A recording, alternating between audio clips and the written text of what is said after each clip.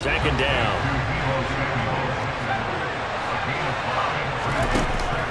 They'll drop to throw. Dancing to his left. Now he's going to let it go deep left side. And he'll take it into the end zone for a